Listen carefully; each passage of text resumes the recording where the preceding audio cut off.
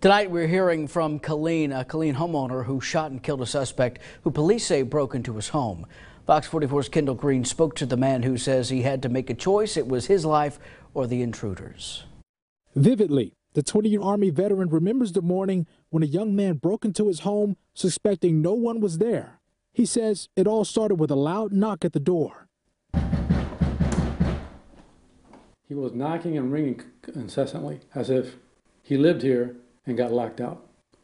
So that was that, that hurt me a little bit. So I looked, and then when I looked through the peephole, he began to talk.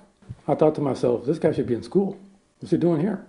You know, either in high school or college or something. He says he was checking to see if he would get a response, and when he didn't, he says he walked around the back door and banged on it as well. The resident says he then realized what was happening, and he quickly went into defense mode to protect himself. I went to my to the little drawer, pulled out the gun, and I only had seconds, 10 seconds or less, to position myself. And as soon as I was positioned, I pulled the hammer back, and the door blew open. He describes the quiet moment just before chaos erupted.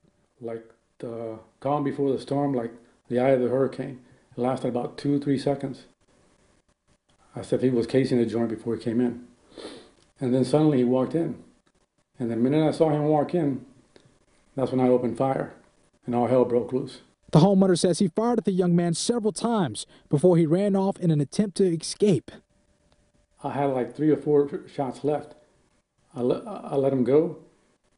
And right before he jumped up or over the fence, I think I hit him because when he went over, I heard him grunt. The veteran says he doesn't like that his home was broken into, but out of all of his neighbors, he says he had the least to lose. I can only imagine what would have happened if it would have been another residence, because I'm the only one here in this area who lives alone.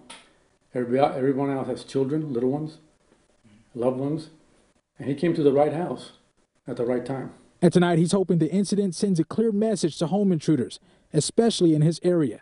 Uh, don't do it think twice. Leave us alone. Because if you're 18 years old, I mean, you've got a lot of years ahead of you, a long time. And to be killed for coveting something that doesn't belong to you is not worth it.